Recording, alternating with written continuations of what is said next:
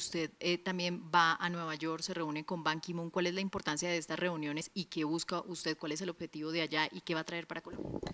Creo que es importante esa reunión con el secretario general de Naciones Unidas, eh, primero porque no es tan común que reciba a funcionarios diferentes a, a los presidentes de otros países, pero creo que también lo hace pensando en dos temas.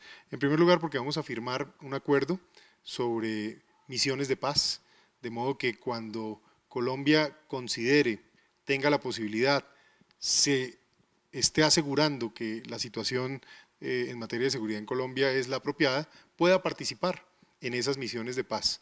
Yo creo que ese es un reconocimiento también a los estándares en derechos humanos y a los avances que ha tenido Colombia en estas materias. Naciones Unidas no hace este tipo de acuerdos con todas las Fuerzas Armadas en el mundo.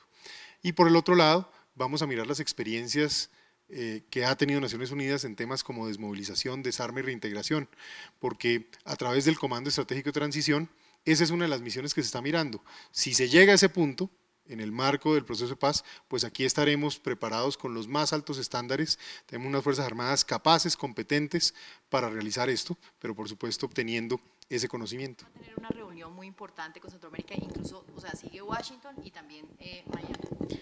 Sí, en la ciudad de Miami se van a reunir los ministros de defensa de países de Centroamérica y del Caribe, así como ministros de economía y otros eh, expertos del sector privado para hablar de temas de seguridad y desarrollo.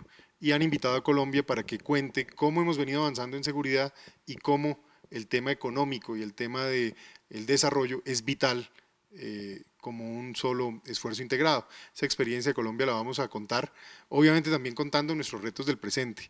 Aquí en Colombia, en este tiempo, tenemos que seguir muy enfocados en la lucha contra el crimen, narcotráfico y sus modalidades, eh, minería criminal, extorsión, contrabando, el reclutamiento de menores y además los delitos que afectan la seguridad ciudadana.